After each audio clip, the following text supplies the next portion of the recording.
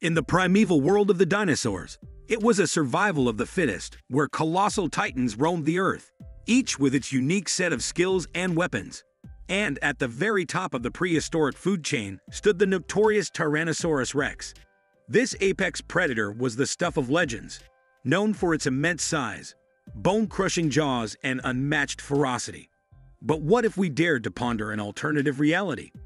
What if we explored the intriguing possibility of four formidable dinosaurs that could have taken on the mighty T-Rex and potentially emerged victorious? In this video, we will talk about four dinosaurs that could defeat a T-Rex. On number 4, we have Spinosaurus. Spinosaurus was one of the largest carnivorous dinosaurs to ever roam the Earth. It could reach lengths of up to 50 to 59 feet, making it even longer than the famed Tyrannosaurus rex. Its size, with an estimated weight of 7 to 20 tons, was a testament to its prowess as a formidable predator. The most distinctive feature of Spinosaurus is its long, crocodile-like snout filled with conical teeth. These teeth were adapted for grasping and holding onto slippery prey, such as fish. Its conical teeth are quite different from the serrated teeth of other carnivorous dinosaurs, like the T-Rex. When considering whether Spinosaurus could defeat a T-Rex in a hypothetical battle, its unique adaptations come into play. Spinosaurus's size and snout, filled with fish-grabbing teeth, might give it an edge in water or near bodies of water, where it could potentially overpower a T-Rex by using its aquatic skills and unique weaponry. On number 3, we will discuss Giganotosaurus. Giganotosaurus often referred to as Giga, was a colossal carnivorous dinosaur that roamed the Earth during the late Cretaceous period, approximately 98 million years ago. Giganotosaurus was one of the largest theropod dinosaurs, and it ranks among the largest carnivorous dinosaurs ever discovered. It can reach lengths of up to 40 to 43 feet and weighed an estimated 8 to 10 tons, making it a close competitor in size to the T-Rex. Its large size and sharp teeth were clear indicators of its predatory nature. The question of whether Giganotosaurus could have defeated a T-Rex in battle is a captivating one. While both dinosaurs were massive and powerful, they lived in different parts of the world and during slightly different time periods. The outcome of such a confrontation would depend on numerous factors, including the size, health, and behavior of the individuals involved. On number 2 comes Carcharodontosaurus.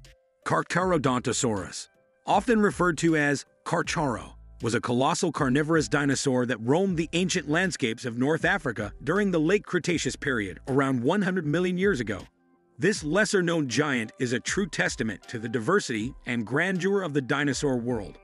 Carcharodontosaurus was one of the largest theropod dinosaurs, boasting a massive size comparable to that of the famed Tyrannosaurus rex.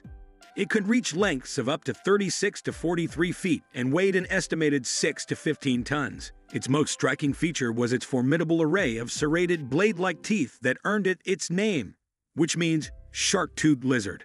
Carcharodontosaurus was undoubtedly a top predator in its ecosystem. Its sharp, serrated teeth were well suited for slicing through flesh, and its size gave it the advantage in hunting larger prey. While its primary diet is still a subject of ongoing study, it is believed to have hunted large herbivorous dinosaurs that shared its environment.